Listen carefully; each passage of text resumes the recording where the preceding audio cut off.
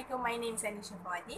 And my name is Amirah Athileah and we are from JBA 1144A. So recently we noticed that a lot of people actually interested in investment but they don't have the confidence to invest because they lack of knowledge about how the trading cycle works.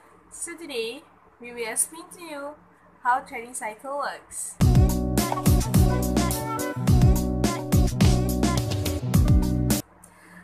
Okay, so first of all, before you guys start to trade, you guys need to open two type of account. The first one is trading account and another one is CDS account. Actually, trading account is just a temporary account before you guys move to CDS account. So let's say you guys open a trading account under Maybank and then after that Maybank will register your name to CDS account. And then after your CDS account have been activated, So you you are are officially, officially to trade.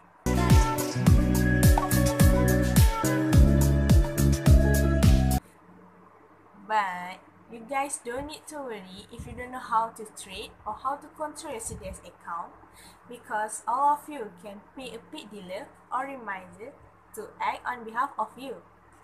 Okay, so let's say I'm the paid dealer.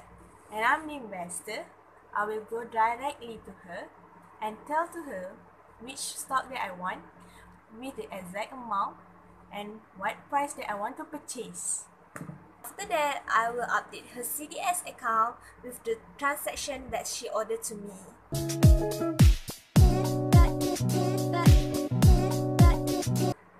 Okay, so after I updated her CDS account with the transaction that she want, actually it will automatically will be key in into a system that called WinScore.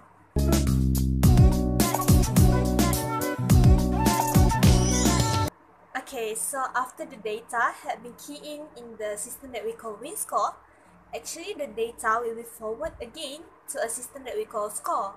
Okay, this system is actually handled by Bursa. And here there will be a process of bid and offer to determine the price based on the demand and the supply at that time. And the process will keep continue until we meet the process that we call price matching.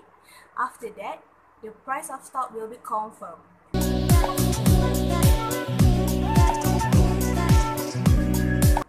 So after the price match and the confirmation in Score system, actually the data will be transferred back into our WinScore system. And here, the trading clerk in WinScore system will print out the trade confirmation for the investor.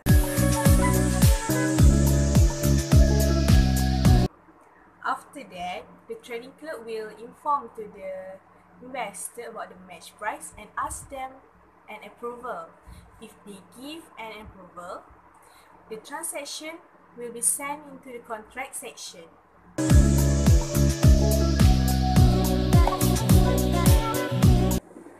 Okay, after all the process, finally we have come to the final process, which is the contract session.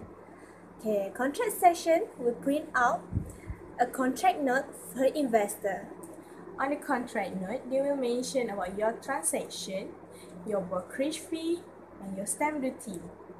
After that, finally, you own the stock. Okay, so I hope this little information will help you guys to gain confidence about trading and to change your perception about trading is hard. So yeah, happy trading. Thank, Thank you.